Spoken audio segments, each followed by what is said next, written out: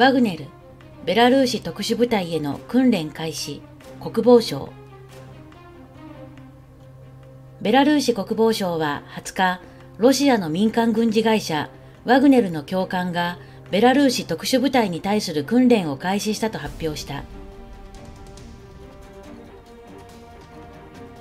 同省は1週間にわたり特殊部隊と同社ワグネルのメンバーがブレスト訓練場で戦闘任務の訓練に臨むと明らかにするとともに戦闘服を着た兵士らの写真を公開した。ワグネルは先月、ロシアの軍指導部の打倒を目指して武装反乱を起こしたものの撤退。ベラルーシのアレクサンドル・ルカシェンコ大統領は、ワグネル創設者のエフゲニー・プリゴジン氏に対し、自国への受け入れを申し出るとともに、自国軍はワグネル司令官の戦闘経験から恩恵を受けることができるとの考えを示していた。ベラルーシ国防省は先週、ワグネルが領土防衛隊の訓練を行っていると発表していた。プリゴジン氏をめぐっては反乱後の消息がわからなくなっていたが、19日夜に同氏の姿を捉えた映像が公開された。テレグラムのワグネル関連チャンネルが投稿した映像で、ベラルーシ国内でワグネル戦闘員を前に演説している様子を捉えたものとされる。この中でプリゴジン氏は、同社戦闘員がしばらくの間ベラルーシを拠点とし、同国軍を世界第2の軍隊にする手助けをすると述べている。同氏はさらに、前線で起きていることは地辱であり、我々が参加する必要はないとしたが、その一方でワグネルが後に前線に戻る可能性についても言及している。プリゴジン氏、ベラルーシで演説、またロシア国防省批判。ロシアの民間軍事会社ワグネルの創設者プリゴジン氏が出国先のベラルーシで演説したとされる動画が19日通信アプリテレグラムに投稿された。同氏はウクライナの前線における今の出来事は恥ずべきであり、我々は参加する必要はないと発言。出来事とはウクライナの反転攻勢を受ける中でのロシア軍国防省の混乱を指すとみられ、これまでと同様批判を繰り返した。プリゴジン氏は6月23日から24日に反乱を起こした後、同26日と今月3日に音声メッセージを出したが、素材は明らかにしていなかった。ベラルーシ東部に拠点を移したワグネル戦闘員を前に演説する様子が伝えられるのは初。出国は反乱で面積を受けるための条件だが、プリゴジン氏はロシアとの間を行き来している模様だ。プリゴジン氏は演説で、ウクライナにおけるワグネルの貢献を称えた上で、ロシア軍国防省の混乱を理由に侵攻から距離を置く考えを表明。ベラルーシに当面とどまることを決めた。ベラルーシ軍を世界第二の軍隊に育てられると信じていると述べ、戦闘員を軍事顧問として活用する方針を強調した。ウクライナ軍、ロシア軍の侵攻直後からロシア軍のドローン3900機破壊。7月に入って300機超え。ウクライナ軍によると、2022年2月24日から2023年7月20日までに破壊したドローンは3900機を超えた。2022年2月にロシア軍がウクライナに侵攻。ロシア軍によるウクライナへの攻撃やウクライナ軍によるロシア軍侵攻阻止のために攻撃用の軍事ドローンが多く活用されている。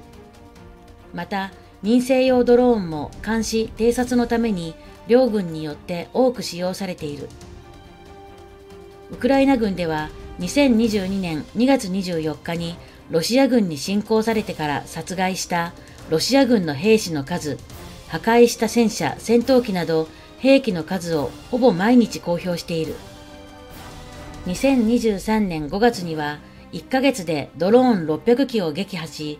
1ヶ月間の撃破数の記録を更新した。2023年6月も400機以上のドローンを撃破。その2ヶ月間で1000機のロシア軍のドローンを破壊した。7月に入ってからもロシア軍による攻撃ドローンでの奇襲、監視ドローンでの偵察は続いており、ウクライナ軍が破壊したロシア軍のドローンもすでに300機以上を超えている。2023年7月12日から3日間で100機破壊、16日から20日までの5日間で100機を破壊した。このペースでいくと7月も400機以上のドローンを破壊することになりそうだ。ロシア軍はイラン製軍事ドローンシャハド136やロシア製軍事ドローンランセットを使用してウクライナの軍事施設や民間インフラを早朝や深夜に攻撃している。そのような軍事ドローンを多い日には1日数十機迎撃して破壊している。ミサイルと軍事ドローンの組み合わせで攻撃されることが多いが、軍事ドローンはミサイルよりも多く使用されている。ウクライナ軍はドローンを撃破すると公式 SNS でよく報告をしている。特にイラン製軍事ドローン、シャハドでの奇襲が激しいことから、同機を破壊すると破壊した数も伝えている。また、ロシア軍の軍事ドローンで破壊された民間施設のビルや建物などの写真や動画も多く公開して、国際人道法、戦争法違反を訴えている。実際にはもっと多くのドローンを破壊しているだろうが、カウントされて公式に公開されているドローンの数は3900機である。ドローンは戦車や大砲のように大型ではない。上空で破壊してもバラバラになってしまった残骸や破片が見つからずにカウントされないことも多い。プリゴジン、反乱後初の動画化。ウクライナ侵攻からの離脱宣言。ロシアの雇い兵組織ワグネルの創設者エフゲニー・プリゴジンがベラルーシでワグネルの戦闘員を前に話すところを映したとみられる動画が19日、通信アプリテレグラムのプリゴジンのチャンネルで共有された。CNN が報じた。本人だとすれば、先月下旬に起こした反乱後、公の場に姿を見せたのは初となる。動画の中では、プリゴジンとおぼしき男がワグネルの戦闘員らをベラルーシにようこそと歓迎している。男はある戦闘員からエフゲニー・ビクトロビッチと目上の人への敬意を示す不詳付きの名前で呼ばれている。これはプリゴジンの名前と一致するが、動画は画質が荒く、本人かどうかははっきりしない。男は、ワグネルはウクライナではもう戦わず、アフリカへの新たな旅を始めると宣言。ただし、我々や我々の経験を恥ずかしめることを求められないという確信を得られれば、ウクライナに戻るだろうとも語っている。一方、対ウクライナの前線で起きているのは恥ずべきことだと断じ、ロシア国防省を改めて批判した。